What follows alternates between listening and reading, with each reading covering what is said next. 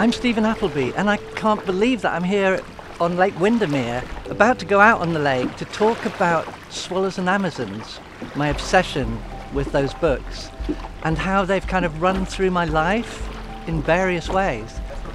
Swallows and Amazons was a children's book written in about 1929, and I first came across the books through the BBC TV series, which was on TV, black and white, when I was seven. And basically, the story is about four kids, and they go out on the lake and camp on an island away from the parents. And the island, though, has been visited previously. It's not uninhabited. There's a fireplace there and things like that. And they soon learn that the other people who discovered the island are the Amazon pirates, Peggy and Nancy, who are also like 12 and 11 or something like that. And it's just a wonderful adventure away from the parents in a world just for children. This is completely wonderful because I'm really not used to going out on boats. And even though I had a love affair as a kid and right through my life with swallows and Amazons, it didn't lead to me doing anything with boats or going out on lakes. This is, I think, the first time I've ever been on a lake, or a, certainly not a, a, lake district lake, the Swallows an Amazon Lake. But um, yeah, so for me, playing Swallows and Amazons was started out. We had a, I had a toy box. We had a toy box at home which had a wooden toy box with casters on the corners, and I discovered that I could row it around my backyard with two tent poles, and it worked because of the four casters. You could row one side and steer it around, and things at the edges of the backyard were the land, and the backyard was the lake. So that's like at seven, eight. And then we started playing, you know, building dens, and I would map the garden, um, and I put a sort of flag up a tree that was above where the den was. And obviously, being the one of the Amazon pirates was the most fun thing.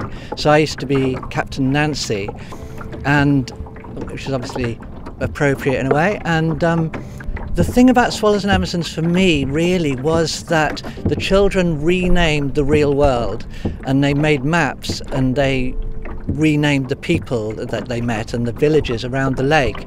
And I kind of learned from that that you can take reality and you can kind of add an imaginary layer on top of it. And I think that's what I do in my work a lot of the time.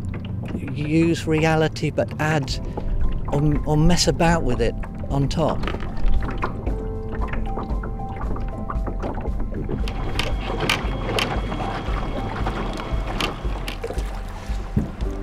This island is just like the fictional Wildcat Island in Swallows and Amazons.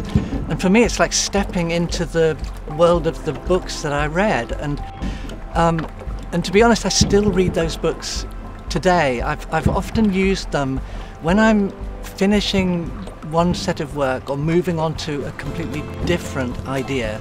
I'll often take a few days out, read a Swallows and Amazons book, and I feel it's kind of connecting me back into my childhood imagination and kind of like refreshing my imagination before I start on a new project. Dragman, the book that came out earlier this year, is a really good example of, of taking the real world and overlaying it with an imaginative fictional world because it's set in London but an imaginary version of London where I've sort of drawn London from memory so it's inaccurate and I've even made up my own new district.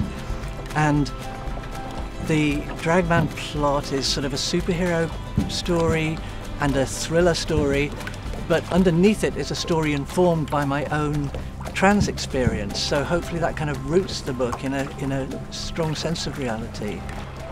Final Swallows and Amazon thing in my life is, is that as a trans woman, I call myself Nancy and I got that name from Captain Nancy of the Amazon Pirates, and that's why I use the name. And also, I think the whole thing about being a trans person for me is, is kind of reimagining myself. Not exactly a fictional version of myself, hopefully, but a version of myself on top of the original version.